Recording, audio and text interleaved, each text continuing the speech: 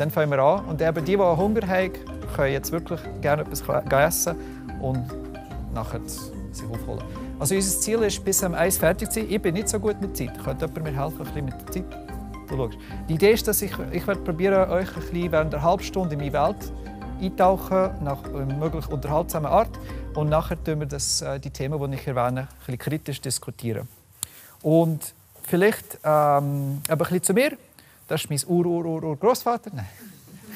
Das meint der Manu. Aber eigentlich ist das äh, ein Typ in Alberta auf einem Feld, wo tut entweder Wasser oder Öl suchen mit der so, sogenannten äh, wie heißt das? Dowsing Rod. Wunsch? Wünschenroute. Danke. Eine Dowsing Rod oder Wünschenroute ist wirklich so eine traditionelle Methode, um herauszufinden, was unter der Erde sich steckt. Und ähm, äh, ich finde es recht speziell. Einerseits, weil ich bin, äh, ich bin Kanadier ich bin, und in Alberta, das ist die Provinz in Kanada, wo ich bin aufgewachsen. Ich habe in Calgary gelebt. Das ist äh, die Stadt, wo sich äh, promoviert durch die Olympischen Spiele 1988 und ähm, durch äh, den Rodeo, wo man dort probiert irgendwie Kuh zu fangen vom Ross und einfach viele Cowboys und viel Öl. Ähm, und es ist wirklich so eine ein bünzlige Stadt im Westen von Kanada, schöne Aussichten, schöne Landschaften. Aber es ist eine Stadt, wo man hat, äh, einerseits ähm, so ein bisschen, muss, hat, die haben sich müssen wirtschaftlich diversifizieren. Das heißt, dass ich nicht kann nur äh, von den Ölressourcen ewig profitieren. Und darum haben sie versucht, ähm, also die Verwaltung hat versucht, noch, noch früh in den 90er schon probieren, ähm, Firmen anzuziehen aus anderen Bereichen. Heute, heute in Calgary hat es recht viele Banken, hat es recht viele äh, IT-Firmen, hat es äh, recht unterschiedliche Projekte. Und in dieser Zeit, wenn, ich, wenn ich dort aufgewachsen bin, ist es schon ein bisschen bekannt gewesen, oder hat sich probiert, bekannt zu machen als Silicon Valley North. Oder wirklich so Innovation und Investition getriebene Stadt. Und das hat mich recht ähm, beeinflusst in meiner Jugend. Äh, ich habe schon während meiner Schuljahre angefangen zu denken, dass ich muss, äh, also ich könnte ein bisschen, etwas verdienen, vielleicht ein bisschen einen Kompi mir leisten oder sonst etwas Gutes machen, wenn ich würde ein bisschen, äh, ein bisschen neben der Schule arbeiten und ich habe dann schon ich habe so angefangen Webprogrammierung zu machen. Das ist irgendwie das, was am einfachsten war. Ich weiß, das klingt ein bisschen komisch, aber ich, ich einfach mit Computer aufgewachsen und, ähm, ich habe immer so Freunde, Familienfreunde gehabt, die mich gefragt hey Oleg, kannst du mir schnell mit, dem, mit, mit Windows helfen, mit äh, DOS, okay, DOS damals eher, kannst du mir schnell mit WordPerfect oder Word helfen? Und, ähm, und schlussendlich ähm, waren das Webseiten, gewesen, wo, wo die Leute haben so, so wollen. Und ähm, eins nach dem anderen, ich habe Webseiten machen. Zuerst bin ich recht skeptisch vom ganzen Web, weil ähm, wir haben, ähm, wir haben recht gute Sachen gehabt. Gopher zum Beispiel. Nein, Gopher sieht nicht so aus. Gopher. Gopher sieht eher so aus. Genau. Das war das Web in 1995. Und also, vielleicht noch vorstellen, bevor, ohne Webbrowser hat man wirklich nur Text gehabt und Dokumente und man kann einfach verschiedene Webseiten aufmachen, also nicht Webseiten, sondern Server aufmachen und von dort irgendwelche Informationen raus, rausziehen. Und das Gleiche mit äh, BBS Systems, ich war recht Fan. Ähm, genau, so hat das alles ausgesehen. Genau, ja, so schön. Man loggt irgendwo rein, also man, man wählt mit seinem Modem, vielleicht wissen nicht noch alle, was das Modem ist, das ist so eine, eine Telefonkopplung, die direkt ins Computer geht.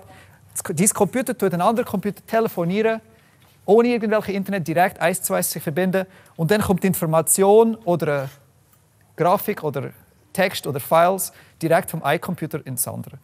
Und das Schöne an dem war, damals, ist, dass man wirklich das Gefühl hatte, so wie heute, dass recht viele Informationen, Möglichkeiten, Ressourcen sie einem zur Verfügung, aber ähm, in einer wirklich in einer simplen Form. What you see is what you get heißt für mich nicht Microsoft Words, äh, schöne Benutzeroberfläche, sondern, sondern einfach roher Inhalt. Oder man, man, man, hat eine Frage, eine simple Frage, man bekommt eine simple Antwort zurück. Man, man sucht irgendeine Ressource, man bekommt diese Ressource zurück.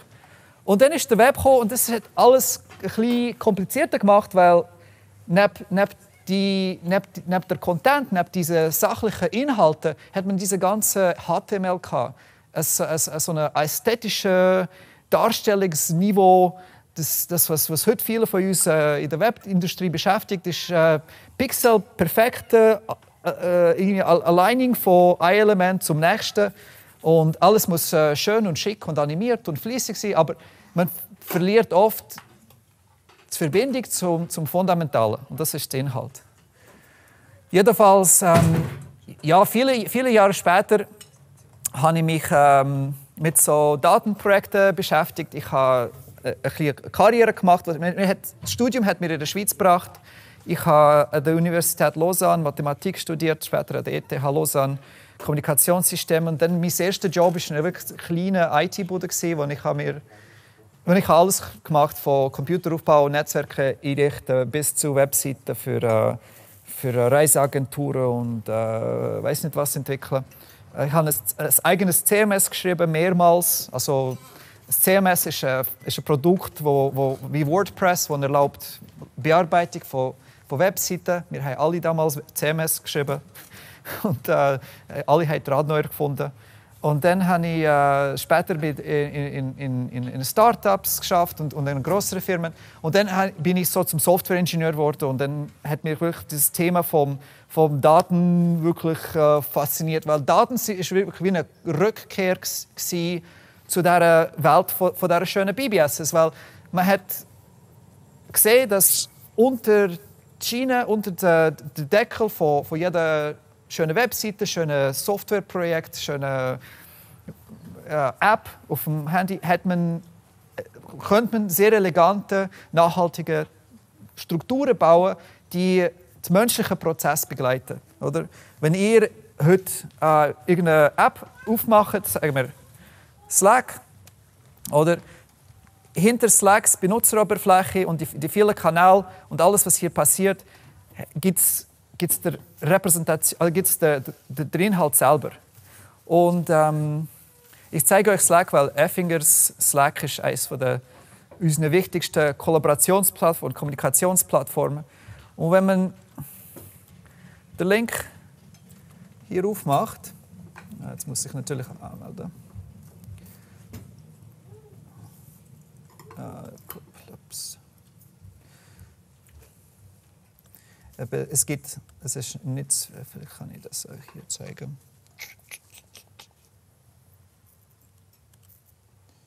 Es gibt im Slack so einen Archivmodus. Das ist nicht da. Ich glaube, Settings. Uh, uff. Ich finde das nicht so schnell. Ah, da hier, Import, Export.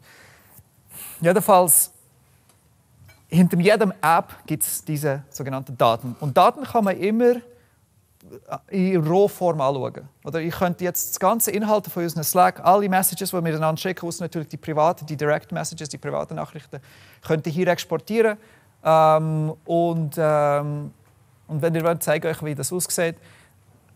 Was man dann bekommt, ist, ist, ist einfach rein Text. Man bekommt also wirklich das, also schwarz-weiß was der Inhalt ist. Ohne, ähm, ohne Attachments, also sagen wir die Bilder und so, die wir teilen, die sind auch irgendwo verlinkt, aber das ist dann eine JPEG-Datei, oder? Und dann das Text rundum mit dem Zeitstempel und Benutzernamen und so ist, äh, ist ein Datenstück. Also das, das hier funktioniert so, dass, die, dass man kriegt das Mail, wir können es dann mal schauen. Jedenfalls, das, das, das Ganze hat mir ähm, recht begeistert als, als Softwareingenieur, weil man hat können, man können einfach besser Software gestalten, oder? Anstatt jetzt warten wir, jetzt warten wir ein bisschen, in ein paar Minuten soll es Link bekommen, um das, um das Slack-Archiv aufzumachen. Einerseits, weil wenn man schon mit, schon mit wenn ihr eine Webseite gestalten oder man, man denkt, oh, ich ich will Webseiten haben über, über, sagen, über mich oder meine Organisation. Dann will ich irgendwelche Historik zeigen, irgendeinen Fortlauf, irgendwelche Projekte.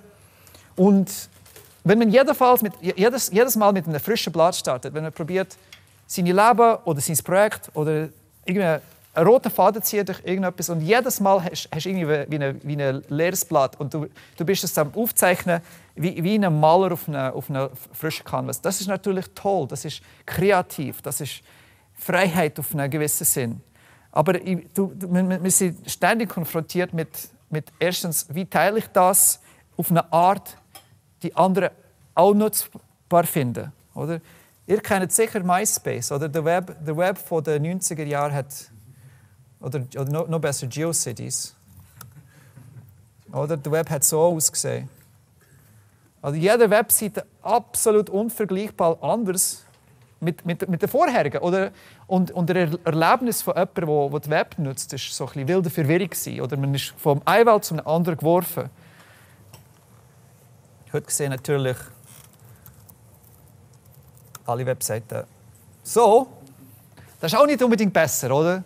Alles so schön flach und perfekt und so. Und dann hat man das Gefühl, dass man, man hat ein, äh, oder man hat das gleiche er er Erfahrung oder man hat eine Vergleichbarkeit zwischen all diesen Webseiten. Aber das ist vielleicht auch nicht ganz wahr. Und was wir in der Datenwelt suchen, ist ein guter Mittelpunkt zwischen zu viel Struktur und zu wenig Kreativität oder zu viel Kreativität, zu wenig Struktur oder und diese Balance, das ist das, was für mich diese Datenengineering, diese Datenarchitektur ergibt als, als Arbeitswelt. Und ähm, ich echt eigentlich auch ein bisschen in meine Welt eintauschen, aber das vielleicht kommt vielleicht von selber an, wenn ich das Projekt zeige. Ähm, das andere, was in meinem Leben hat mir wirklich äh, also mein, mein Lebenskurs hat verändert, ist sicher die, ähm, die Open Source Community. Jetzt mache ich gerade ein bisschen Werbung. DINACON, 19. Oktober. Die Open Source Community, also die Open Source ist eine Bewegung, die sehr alt ist. Äh, es hat in den 60er angefangen. Das prinzipielle Prinzip ist, ist, dass es soll Alternativen geben soll. Wir haben vom Slack geredet. Slack ist eine tolle Plattform, aber ist eben auch ein closed. Ähm, man hat nicht den Quellcode zu dieser Applikation.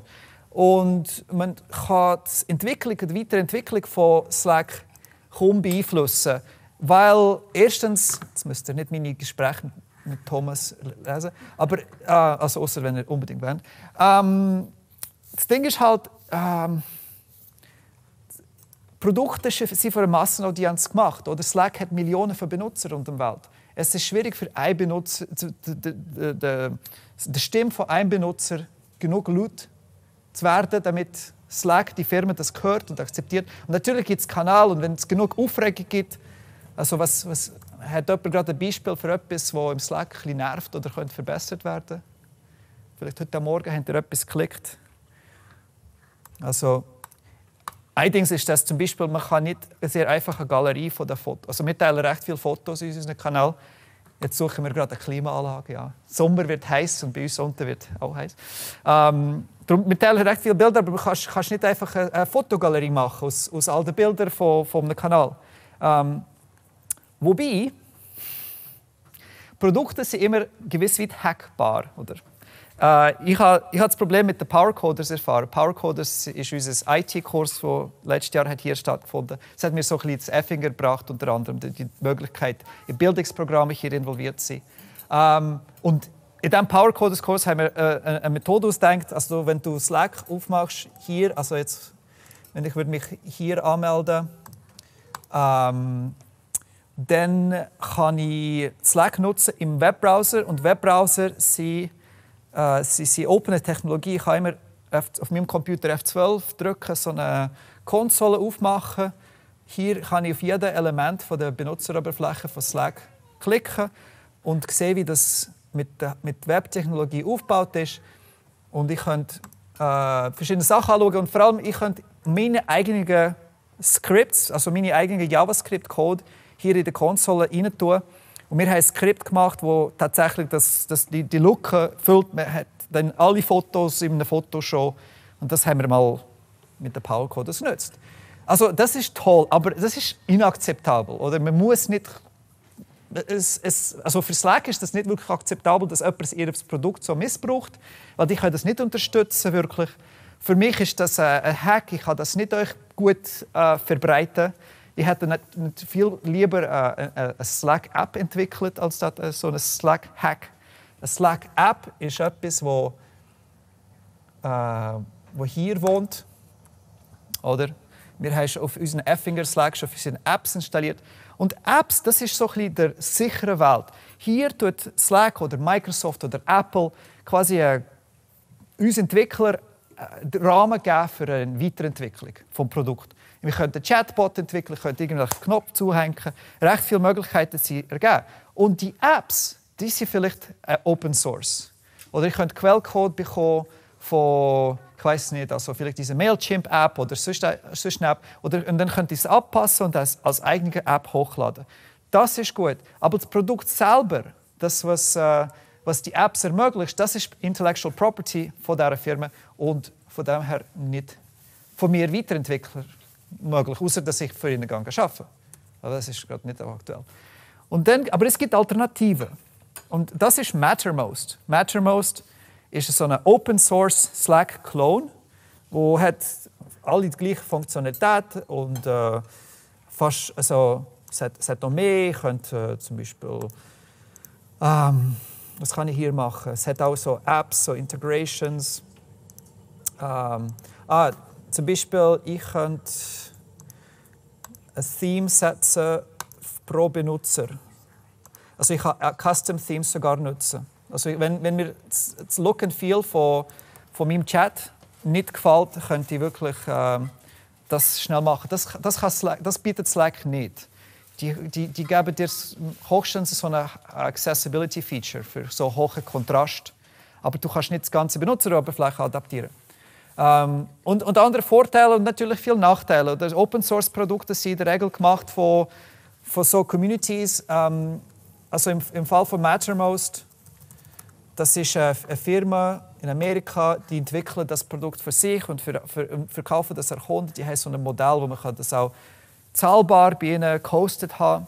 Oder man kann einfach das Quellcode abladen, so wie ich es gemacht hier und, ähm, und selber installieren auf einem Server und dann hat man seine Alternative. Ähm, und bei so Softwareprodukten ist das Open Sourcing schon ein sehr bekanntes Thema, so sehr, sehr klar. Es gibt Alternativen zu jedem kommerziellen Produkt. Es gibt sogar eine Webseite, wo euch Alternatives to euch die Alternative hilft finden. Das ist eine sehr gute Webseite. Wenn, sagen wir, ihr habt äh, irgendeine teure App gehört, Photoshop, sagen wir Adobe Photoshop, und dann das, das schlägt äh, aha, das sind die Ergebnisse. Dann muss ich, wenn ich auf Photoshop klicke, dann steht, ja, es ist, es ist ein teures Projekt, Produkt, das nur auf Mac und Windows läuft und das sind die Alternativen. Also eine wichtige Regel vom, also ein wichtige Kriterium von Open Source sind Alternativen. Aber was, was für mich noch wichtiger ist, ist halt die, die Mitarbeit. Oder? Wenn man in einer privilegierten, kommerziellen ähm, Umgebung schafft als Softwareentwickler, so wie ich damals äh, gemacht vor zehn Jahren, dann hat man einen sehr geschlossenen Entwicklungsprozess. Deine Chef, deine Mitarbeiter, vielleicht ein, jemand von einem anderen Departement erfahrt von deiner Arbeit. Ähm, das fließt natürlich in ein Produkt hinein. Es geht irgendwelche Benutzer und Kunden.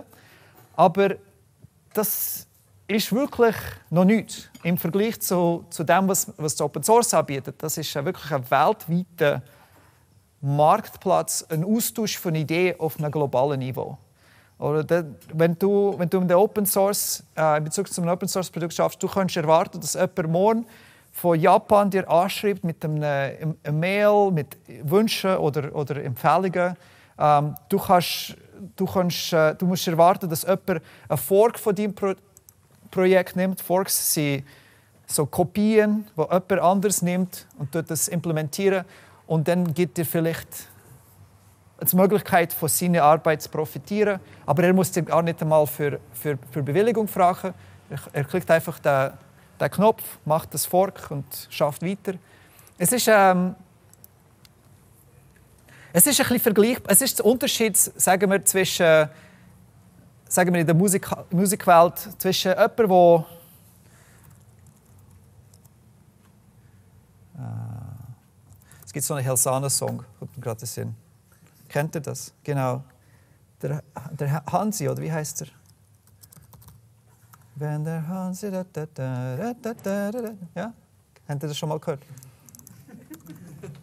Äh, es ist wirklich ein catchiges Lied. Ja, komm. Eine Halsey, Halsey heißt er, genau. Der Halsey. Ja, leider finde ich. Ja, vielleicht das.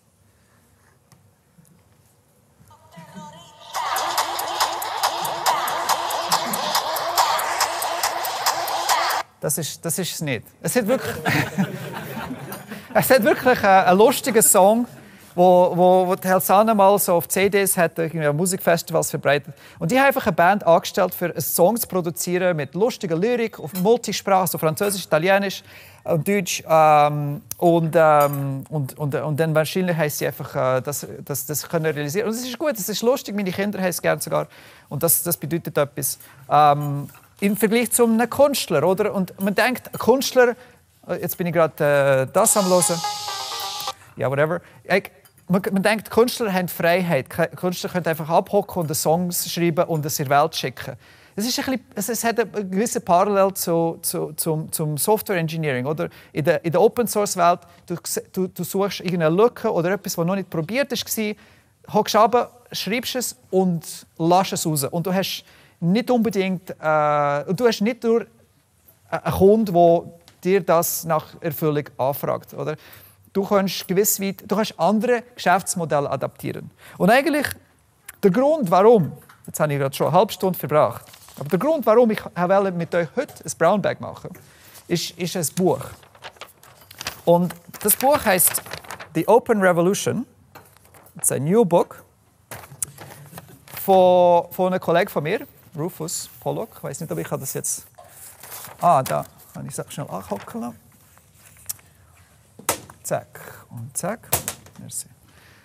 Ähm, und in diesem Buch geht es um Geschäftsmodell. Es geht um, wie wir kreative Leute können unser Leben gewinnen und unsere Politik weitertreiben, also in der Gesellschaft Ideen verbreiten wie wir miteinander umgehen können, basiert auf diese neuen Ökosysteme von Informationsaustausch. Und einerseits geht es um Alternativen. Oder Spotify ist so, so eine interessante, offene Plattform, die in diesem Buch äh, beschrieben ist. Spotify ist ein kommerzielles Projekt mit vielen Problem Problematiken involviert. Aber grundsätzlich die Idee, die sehr wichtig ist hier, jedes Mal, dass ich jetzt auf einen Song klicke, wenn ich Play abdrücke, beim jedem Klick wird der Künstler bezahlt. Es war gerade jemand bezahlt. Es war gerade jemand bezahlt. Oder? Jetzt gebe ich irgendwie Halsey. Jetzt war jemand bezahlt.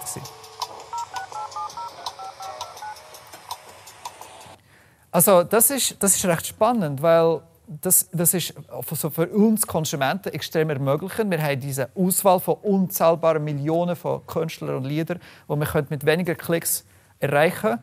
Ähm, es ist für die Künstler auf eine Art sehr bereichend, weil sie können eine globale Audienz erreichen, ohne zu müssen warten, bis ihre CD gedruckt ist und verteilt.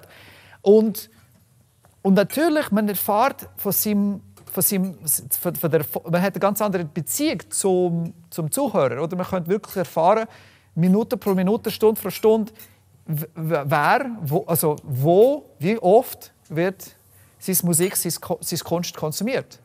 Das ist revolutionär. Das hat noch in der Geschichte von, von den Menschen noch nie gegeben, außer bei so Live-Performance, also außer beim Theater und Zirkus und ich weiß doch nicht Live-Shows. Ähm, wo, wo, wo das Bottleneck ist einfach die physische Präsenz. Also wie groß kannst du der Amphitheater füllen mit Zuschauern? Das ist, das ist eine sehr harte Limitation, oder? Und, und wir, sind quasi, wir, wir gehen jetzt von einer Welt, wo wir mit diesen physischen Beschränkungen müssen leben Nur so groß wie der Raum ist, das, ist unser, das sind unsere Zuschauer. Also zumindest nur mit denen könnte man direkte Erfahrung bekommen, sofort ums, ums, ums Feedback Also super oder buh. Also ihr könnt gerade mir jetzt sagen, also wie findet ihr den Talk bis jetzt? Ist das so, so oder so? Kommt schnell.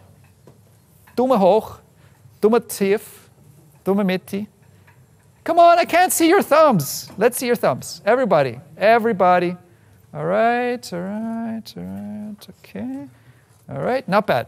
Okay, I'll try to push it in this direction a bit more. Also, es, aber es, und es gibt Alternativen. Und ich wollte ich wollt euch von, von, von, von, sagen wir, noch erwähnen, dass es gibt, es gibt die ganze antikommerzielle Bewegung. Oder? Wir haben, einige nennen das Links oder Left, Communism, andere nennen das Anarchie.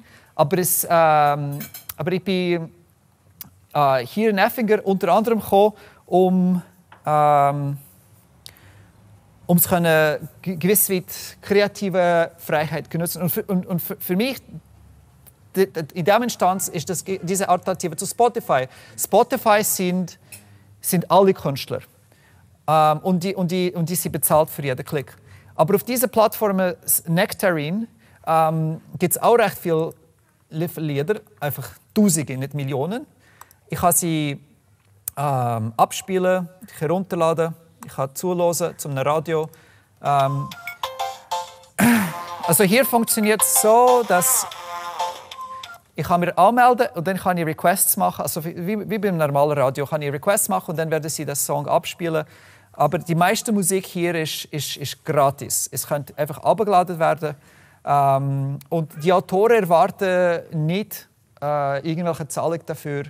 Ähm, die, sind, die, die sind nicht unbedingt Amateure, aber die haben ihre Musik teilt unter die, die Konditionen, dass man darf das frei wieder abspielen und das ist eine sehr wichtige Alternative für kreative Menschen, dass man, dass man, muss, dass man könnte im Prinzip nicht für seine ganze Kunst, aber für einen Teil von unserer Aktivität sagen, ich erwarte keine Bezahlung dafür.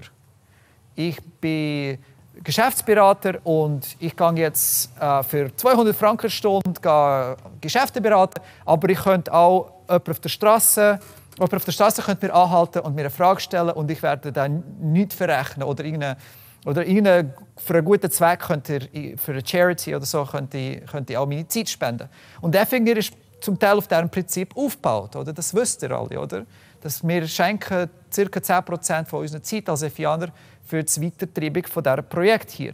Das ist eine sehr spannende Alternative, dass könnt entweder mehr Geld am Projekt geben, also eine, eine, eine höhere Monatsrate zahlen, oder ihr könnt auch meine Zeit schenken. Die gleiche Alternative gibt es in der Industrie, oder? Wenn man, wenn man wählt, auf, ob ich will auf, auf Windows basiert oder auf Linux basiert, äh, äh, meine Projekte anführen und so weiter und so fort. Also, das Buch. Warum ist das Buch interessant? Es, es hat schon viele Bücher über das Thema. Das äh, vielleicht bekannteste äh, ist von Cory Doctorow, Information Doesn't Want to Be Free. Also in den letzten Zeiten, ähm, in den früheren Zeiten, Karl Marx mit seinen Büchern. Ähm, und, und viele andere Denker haben über das Problem von, von der Wirtschaft und von der Information, für, die, für, die, für, für, diese Werte in der Gesellschaft denkt. Also, und Open Revolution versucht, ähm, so ein utopisches Bild, wirklich ein gewusst utopisches Bild zu vorstellen, von wie das könnte sein, wenn alle nicht privaten Informationen wären frei verfügbar. Es geht um, es geht um Informationen so wie ich kann euch ein paar Beispiele zeigen. Muss schnell meine Workflow konsultieren. Genau. So wie Analytics. Das kennt ihr sicher, oder? Google Analytics. Das ist ein sehr tolles Werkzeug. Wir werden vielleicht das nächste Brown, Brown Bag ähm, über, über das führen. Also das ist, das ist Tra Tracking von Website-Besuchern. Jeder Website-Betreiber hat, oder fast, die, die schlau sind, haben so eine, so Widget, so ein Google-Script auf ihrer Seite.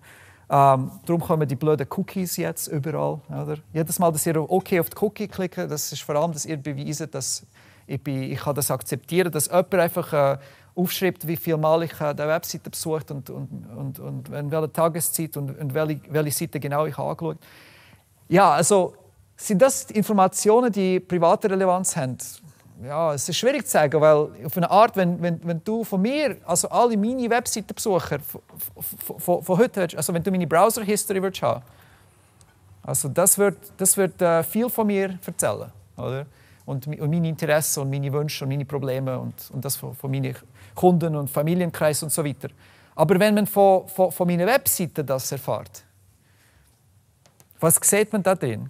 Ja, man sieht äh, irgendwie, dass ich gestern habe, also sagen wir die letzten sieben Tage, dass man hat irgendwie viele Benutzer hatte am Dienstag, es ist gestiegen und das, meine Webseite ist ja am, meistens irgendwie am 2 am Nachmittag besucht und ich habe mega viele Besucher von, von der Schweiz. Wow, erstaunlich. Also man könnte natürlich in den Informationen raus, Sachen herausgraben, die auf einzelne Personen zeigen. Oft ein Beispiel sind Geodaten. Oder ähm, wenn man äh, irgendwelche Umfragen stellt und dann gibt es äh, Postleitzahlen und in die Postleitzahl hat man etwas gefragt. Und dann gibt es einfach eine Antwort in einer gewissen Postleitzahl, äh, sagen wir auf eine politische oder sonst heikle Frage dann kann man es oft sagen, quasi, wer das ist. Also wer hat auf das geantwortet. Weil man hat dieses Problem von der, ich weiß nicht, was, wie sagen ihr in der Fach? Autokorrelation. Autokorrelation, danke. Und diese, diese, diese, dieses Problem bestimmt immer, wenn man hat so globale Daten und man, man, man, kann reinzoomen und sehen, oh, das ist ein bisschen problematisch. Ähm, eben, das Buch ist toll. Ihr mal alle, also es ist gratis. So wie das Thema. Ähm, wenn man auf openrevolutions.net geht, kann man es abladen, seit gestern. Ähm, ich habe Haufen Kopien bestellt ähm, und werde die irgendwie verkaufen. Oder wenn jemand will, ein kleines Geschäft hier aufmachen und Bücher verkaufen, können wir diskutieren. Ähm, ja, also ich habe noch vor, einfach drei Sachen euch zu zeigen. Zuerstens Karten. Jetzt, wenn wir schon von Geodaten reden. Kennt jemand diese Karte? Also du, du darfst nicht. Das ist jemand gesehen? Das ist die dadaistische Karte von Zürich. Das ist ein recht tolles Projekt. Man sieht hier die Stadt und überall, wo Revolte und Aktionen und Kunstprojekte sind gemacht sind. Das ist von, von der Cabaret Voltaire produziert. Ähm, Karten sind schön, Karten sind toll. Also ich könnte wirklich das einfach hm, genießen. Und ich habe in, in der, also wenn, als Kind habe ich wirklich gerne Karten, ich habe gerne Karten gezeichnet. Ähm, heute arbeite ich auf einem Projekt, das so aussieht.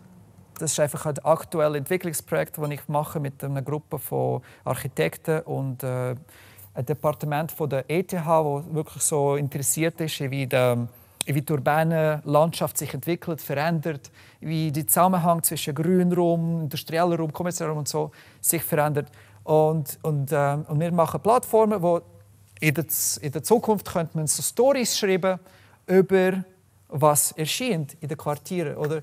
Und, und, und das, das Story wird einen sehr äh, persönlichen Charakter haben, jetzt dieses Beispiel, weil das sind Daten von einem Mensch, das sind die Bewegungsprofil.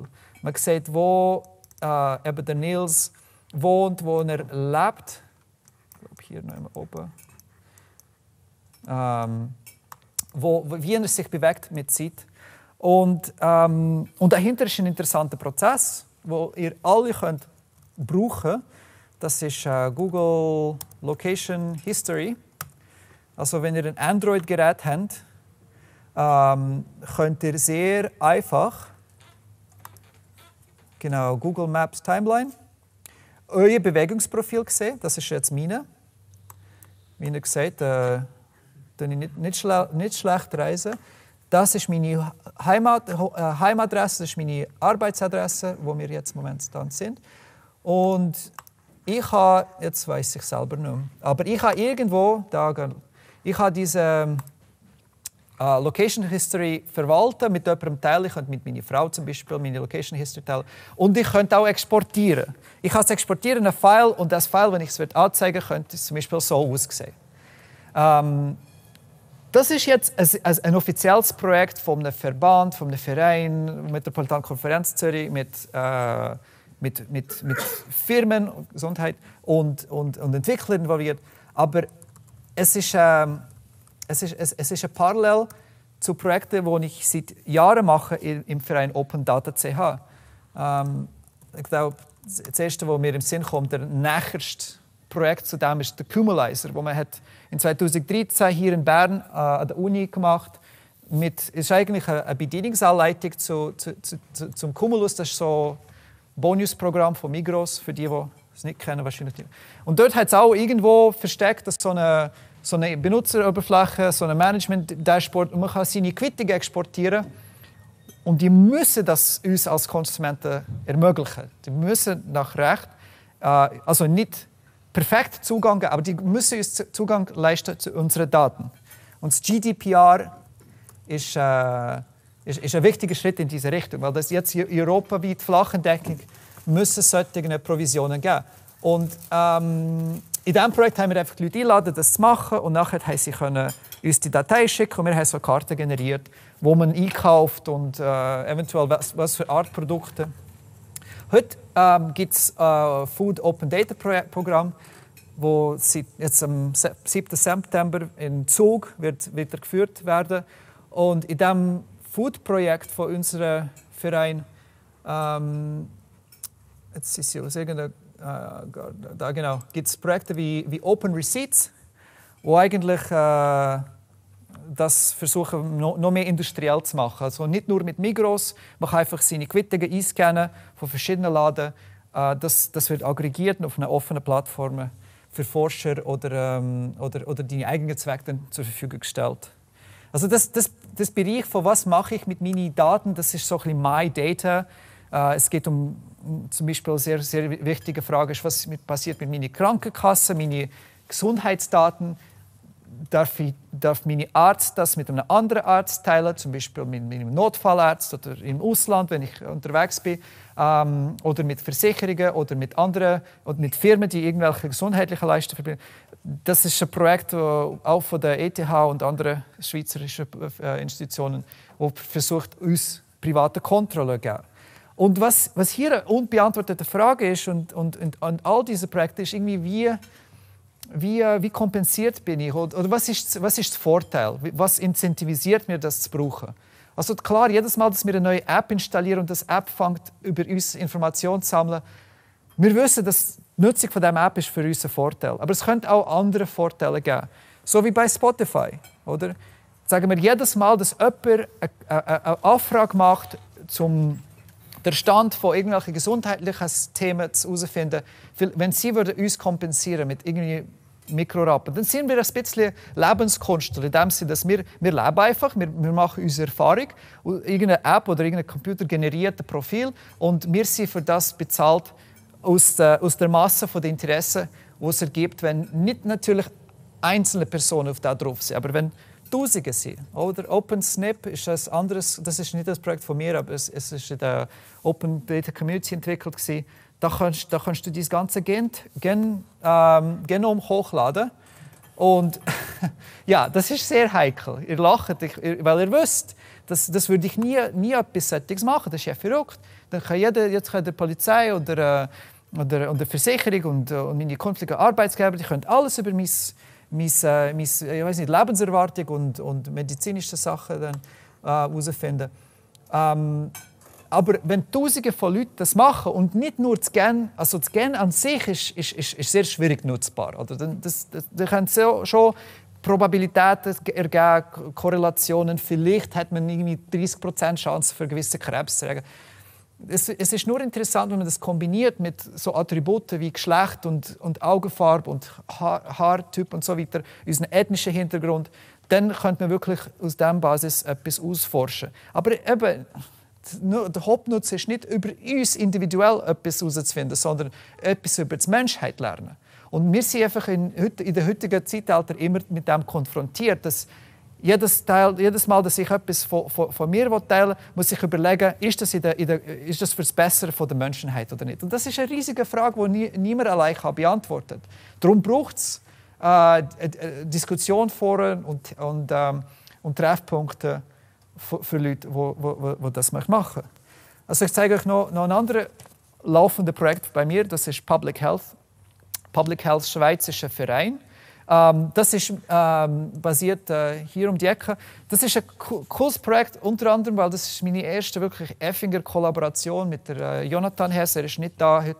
Er ist im Bundeshaus. Was ist er am machen, Fabio? Irgendetwas Wichtiges am Filmen wahrscheinlich.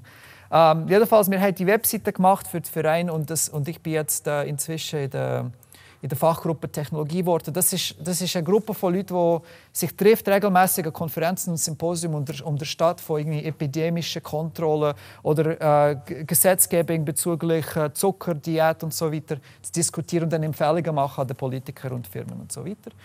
Die haben neue Technologiefachgruppen. Ähm, da versuche ich irgendwie die, auch die Themen so mit, mit Leuten aus der Medizin zu verbreiten. Ähm, das ist super cool. Äh, und der andere Grund, warum das cool ist, ist, weil in diesem Projekt kann ich ein Produkt umsetzen, das heißt Wagtail. Und das habe ich eigentlich am ersten, allerersten Brownback gezeigt. Wenn wir nur irgendwie 60 waren im Pleffen, habe ich der Manu und ein paar andere gezeigt, wie ich mit dem CMS arbeite. Und das ist, das ist mein Brot und Butter, sozusagen. Also eine jemandem eine Webseite helfen zu gestalten, mit einer schönen Bearbeitungsoberfläche, wo man etwas eingeben kann und veröffentlichen. Das ist äh, das Fundament. Aber nachher geht es weiter. Zum Beispiel, ähm, ich habe ein Aggregationssystem für sie gemacht, wo wissenschaftliche Artikel, äh, Nachrichten aus der Welt von Gesundheit, ähm, Jobangebote und so weiter alles zusammensammelt in einen Aggregator, wo sie können Mitglieder und eigentlich einfach normale Webseiten besuchen als, als Dienstleistung anbieten. Oder hier kann ich eben Events, laufen, äh, künftige Events und so, und so äh, browsen auf der Webseite. Aber das ist, das ist das, was ich mache. Ähm, ich mache das mit, äh, vor allem mit, mit Python. Das ist mein, im Moment meine Lieblingsprogrammierungssprache, also meine zweite Lieblingsprogrammierungssprache im Moment. Äh, Zeit lang war es Lieblings. Ähm, und das ist etwa, ich weiß doch nicht, das ist, ja, ja, ich habe etwa fünfmal wirklich fest auf eine Programmierungssprache umgesetzt in meinem Leben. Und das macht Informatik auch spaßig, weil man kann, man kann sich immer neu erfinden. Jedes Mal, dass man eine neue Programmierungssprache verwendet, ist das wirklich eine Welt von Praxis und Leuten und so weiter. Hacking. Mm. Ich muss euch in der kurzen Zeit, die ich kann sagen ähm, Hacking ist das, was ist, ist, äh, ist, äh, ist nicht ein schlechtes Begriff. Erstens. Es geht ähm, bei mir um das Hacking definiert in diesem Buch hinein. Das Buch gehört zu den anderen drei Büchern hier. Es ist von der, von der Engagement Migros äh, publiziert, also von Migros Kulturprozent, äh, vom Dominik Landwehr. Er ist ein toller Typ, der sich, sich extrem gut auskennt mit den digitalen Medien in der Schweiz, mit Künstlern. Und er erklärt den Unterschied in diesem Buch zwischen so Media-Hacking, Biohacking, Lockpicking, also wirklich Viren und, und, und politisches Hacking. Und Hacking im Sinne von kreativer Prozess. Es gibt so, das Hack ist so wie eine Kunstform, wo man versucht mit äh, und, und man kann das auf jeden Bereich verwenden. Es, geht, es hat prinzipiell nichts mit Informatik zu tun. Es geht einfach um sehr starke Limitationen und kreativen Durchbruch. Oder ich, ich, ich in, in einem Hackathon, so wie ich jetzt am Organisieren bin, in wie viel Zeit haben wir jetzt noch? Acht Minuten, ja. Danke. Ähm, ich organisiere ein Hackathon, das nächste Woche anfängt. Dieses Wochenende gibt es auch tolle, zwei tolle Hackathons. Ähm, ich muss es schnell, schnell nachschauen. Für die Frau, wie viele Frauen haben wir hier? Zwei. Okay. Für euch Frauen, meine lieben Frauen, es gibt äh, etwas Spezielles jetzt am Wochenende, das fast niemand kennt. Shoot. Plus, plus. In plus-size dresses. No, that's not it. Genau. Woman Plus Plus, das ist so eine Geek-Koalition. Die machen den First Woman-Friendly Hackathon in Switzerland. Okay, ich bin keine Frau, ich kann das nicht beurteilen, wie sinnvoll das ist, wie toll. Ich sage einfach, dass es gibt. Schaut bitte selber an, ob das etwas ist für euch. Ähm, ich organisiere Make Zürich, das ist ein paar Tage später. Bei Make Zürich, äh, jetzt habe ich es auch zeigen, das habe ich nicht aufgebracht. Es geht um kleine Sensoren, die man jetzt überall in der Schweiz anhängen mit dem Netz, drahtlos, gratis und mit extrem geringen Stromverbrauch, um alle möglichen Sachen zu messen. Wir haben das letztes Jahr gemacht mit grossem äh, Spass und Furore ähm, und eine Haufen Ideen bekommen, wie man zum Beispiel Grünflächen könnte, könnte, äh, könnte messen oder auf unseren Velo versuchen, nicht zu Cloud äh, zu, zu, haben oder ähm, äh, zu probieren, unseren lauten Nachbarn, die Disco-Clubs und so von Zürich, ein bisschen der, Ärger zu quellen, wenn, es zu laut ist. Ähm, und am Hackathon hat man einfach 24 Stunden Zeit oder 48 Stunden Zeit und man probiert wirklich vom Anfang auf bis, auf, bis zum Schluss, bis zum Ergebnis zu gehen mit einer Realisierung. Und das ist, das ist eigentlich das. Es, es, in, in diesem Buch ist, ist, ist, sind viele so, in der Kunstbereich so Hacks zeigt, wo versuchen zu überzeugen über den Effekt oder über die Überraschung oder über die Provokation, anstatt vom einfach ein schönes Kunstwerk zu sein. Und das ist, das ist äh, ein, ein uraltes Ding, das wir jetzt in der modernen Welt haben beigebracht äh, oder modernisiert mit diesen Hackathons. Und ähm, was ich an diesen Hackathons mache, ist also erstens animieren und helfen und, und selber mitmachen. Für mich das ist das ganze Spaß, ist eigentlich an, an meine eigenen Projekte ähm, zu machen.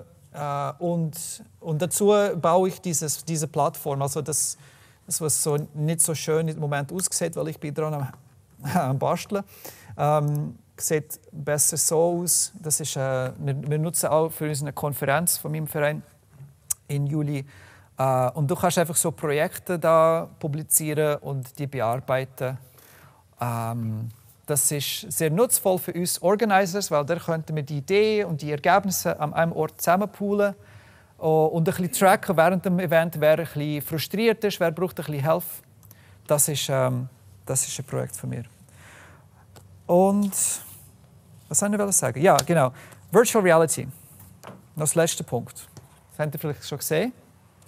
Ähm, Im Moment, oder nein, im Moment, seit den letzten zwei, drei Jahren wieder weil in den, in, ich weiß, ich, erst zum ersten Mal irgendwie 1997 in Calgary, in Alberta, so, so VR-Brillen ausprobiert. Also die sind nicht so groß, die sind etwa so groß gewesen, hat etwa 5 oder 6 Kilogramm gewiegt. Das war wirklich ein Desaster gewesen. Ähm, man, man ist so ein so eine rundums Ding, man musste so stehen und dann hat man nur so weit können bewegen, weil sonst die Kabel haben es nicht gelenkt und ähm, es war recht so ein krasses Ding und heute hat man Virtual Reality auf seinem Smartphone mit so einem Cardboard oder drunter haben wir ein gutes äh, Oculus Rift, also ein gutes Virtual Reality Gerät.